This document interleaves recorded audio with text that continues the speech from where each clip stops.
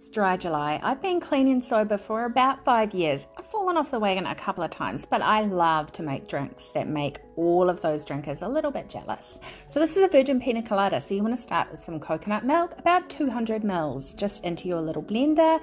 About a quarter of a pineapple. I use a fresh one. You can use canned if you're a heathen. Um, and then you want to pop in some seedlip or some other non alcohol alcohol. Is it necessary? Probably not a little bit of blue spirulina because you know blue stuff is more fun, right? And then we want to put in our lion's mane, which is the brainy mushroom. So I, I, like to use it when I'm going out or something like that, be, just because it's a great, you know, conversation kind of enhancer.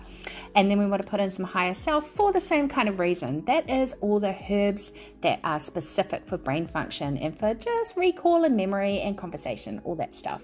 You don't want to zhuzh it up together. I wish this was a KitchenAid ad, but it's not. I wish they sponsored me. I love that little blender. It's really good. Get out your best glassware because, you know, we want to make all these drinkers jelly, don't we? Put into your glass, and of course, you have to make it beautiful because you just have to. And there we go. So it's an elevating blue virgin pina colada.